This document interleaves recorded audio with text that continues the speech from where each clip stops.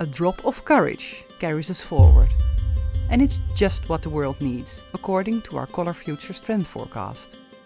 Every year, acclaimed design experts help us understand the mood of the moment. And this time, it's all about adapting to change together, with self-belief, social solidarity, past knowledge and smart, sustainable solutions for the future. Change takes bravery, but it's also invigorating and inspiring. Our theme for 2021 is having the courage to embrace change. At our Global Aesthetics Center, we choose a color that brings this to life. Our color of the year is a warm, natural neutral, an enabling and grounding color that connects us back to the simple things and gives us a firm foundation for change. It's a shade that lets others shine. And around it, we've built a collection of colors to help you transform any environment. We've grouped these into four palettes. Expressive, Trust, Timeless, Earth.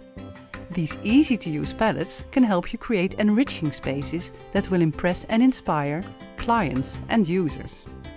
Calm neutral colors help stimulate learning, so the balanced Timeless palette is perfect for educational spaces. Energizing, but not overpowering, it helps boost performance and encourages fresh thinking. Evoking the natural world, the colors of the Earth palette can help us unwind in a workspace or home office. While the harmonious tones of the Trust palette encourage communication and collaboration. Warm Trust colors bring unity to a living space, creating somewhere people can feel connected. While the pinks of the Expressive palette provide scope for creativity and individuality. Connecting back to nature boosts well-being, so earth colors are ideal for healthcare spaces.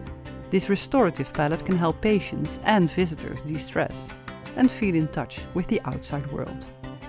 Expressive colors bring zest and vitality to hospitality spaces and make them memorable.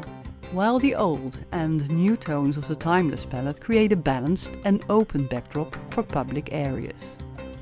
Where will you start?